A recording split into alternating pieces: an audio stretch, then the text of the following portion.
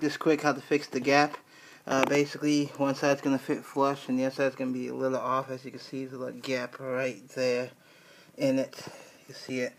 Um, that's because it's like an inch off. What you're going to basically do, if you look, I'm going to put a screw through here to hold it flush against here.